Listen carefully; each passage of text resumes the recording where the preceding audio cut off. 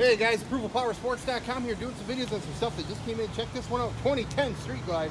Only 26,659 miles. Super clean. Got the Screaming Eagle exhaust. It sounds great. Vivid black, high gloss paint that shines like new.